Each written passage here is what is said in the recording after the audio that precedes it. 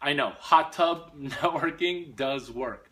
But if that's a little aggressive for you or you're worried about uh, taking off your shirt, by the way, Aaron Patzer is my shirtless mentor. Super smart. As soon as it hits 55 degrees, has a half a reason, bam, shirt off, gets distribution. Have you heard of Mint? Do you realize how Mint started?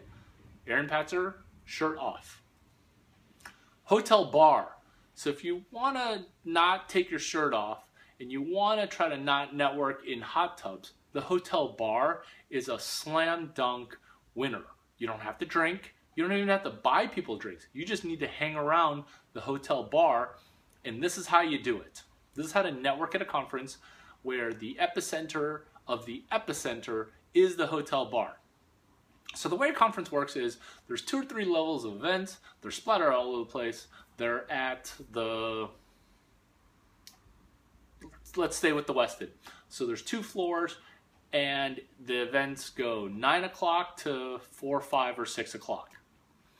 Now, around eight, nine, ten o'clock, people kind of don't want to go home and go to bed, and they kind of want to hang out. Where do they do that? The hotel bar. You want to squat a table, uh, an elevated table where you're not allowed to sit, and you want to squat that kind of table and maybe bring balloons, maybe bring flowers. You're going to feel like, oh my gosh, what am I doing? But the reaction of executives when you bring balloons is always positive. I've never seen an exec say, oh, I hate balloons. Get out of here. They're always like, oh, you brought balloons. I saw you earlier today. So balloons signify and signal and indicate that you are open to people approaching you because you're holding two balloons. Now I know it takes a lot of confidence, and this is almost a, a sequel topic of how to show up with a bunch of confidence for doing networking with balloons. But a hotel bar, this is how you do it. You don't have to order alcohol for everybody. You can just milk a tonic or a cranberry soda, okay, non-alcoholic. But what you want to do is you want to bring a bunch of $5 bills. If you're foreign, it's the one with Abraham Lincoln. He freed a bunch of us uh, during the Civil War. So you want to bring a bunch of Abraham Lincolns and you want to tip the bartenders because you will be asking for the smallest of favors. Uh, coat check, bag check, uh, just helping people not be saddled and straddled with their junk because when you go to these conferences, you become like this pack mule. And there will be chief technology officers, okay, will look like a pack mule.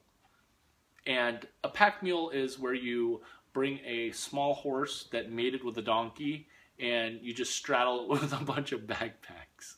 So these pack mules, so then you want to try to host them in your little hotel bar thing. Now, typically you're going to look like a kid and you're going to be, your co-founder is going to be another kid and that's why we're practicing doing SERPs. No exec's going to be like, oh, thank you for taking care of my backpack and help having find the bellhop, okay? Now buy me, you know, a Macallan 18, which is like a $45 shot. They're not going to do that. They're going to be like, oh, thank you so much. Because the person will give you a claim check They'll give you a claim check. I don't have any on me. This is similar. So they'll give you a claim check for the backpack, and the executive will be so thankful that you relieved him of pack mule duties. Uh, that's an, uh, an effort to host while you're at the hotel bar that you are not buying people drinks on. So you're trying to add value and you're trying to give people a reason to hang out with you while you pitch whatever you're trying to cadaver and bring back do CPR from the dead on. Some of these things are incredibly difficult for an Ivy League person to do because they don't want to host. They want to be discovered. They don't want to uh, do uh, social be the social lubricant. They feel as if they should just show up and just be the VIP. Guess what? Most VIPs in this world are hosts. And the guests who show up wanting to just be VIPs, they don't get any distribution. And that is at exactly the heart of the matter. They think that going home and just working on their product 24 7, they don't have to get out there and promote it.